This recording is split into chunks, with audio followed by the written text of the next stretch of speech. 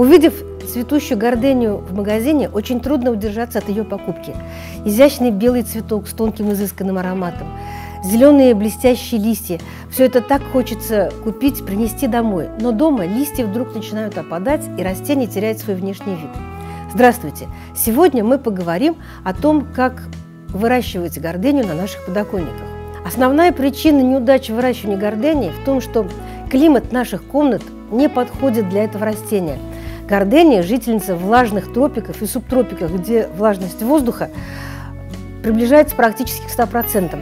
И это очень теплый климат. Для гордении нужно, чтобы температура была не выше 25 градусов, но не ниже 16. Ниже 16 градусов растение э, начинает себя очень плохо чувствовать. Вот многие принеся домой гордыню, через несколько недель получали вот такой кустик.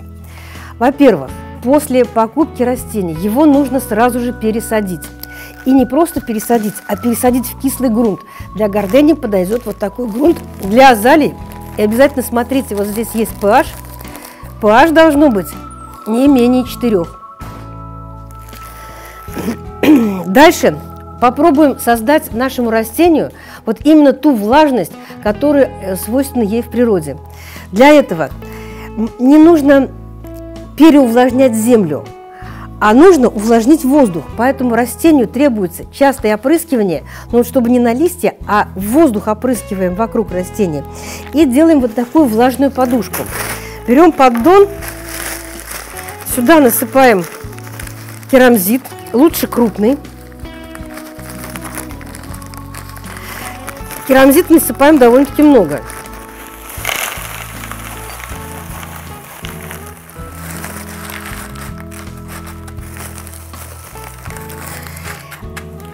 И заливаем все это водой так, чтобы она не доходила до верхушки керамзита. То есть у нас вся вода должна быть под керамзитом.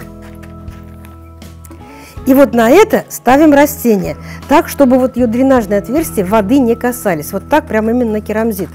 Теперь вода будет испаряться и обеспечит влажность воздуха вокруг растения.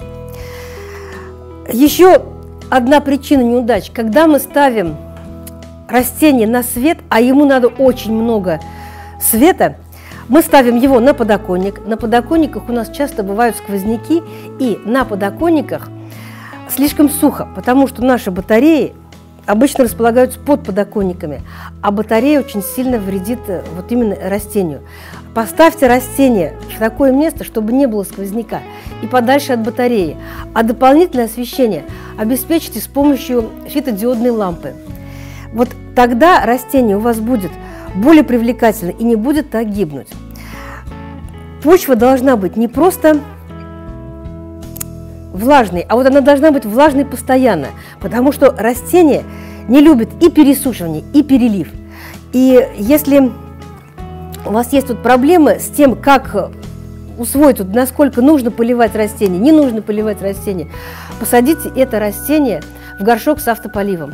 Вот тогда у, него, у нее не будет вот этой вот э, встряски, когда мы его подсушили и когда мы его залили. Растение требует подкормки, и подкормку берите также для азалий, потому что растению нужна кислая почва. И вот такие нехитрые наши советы помогут вам вырастить красивые цветущие растения.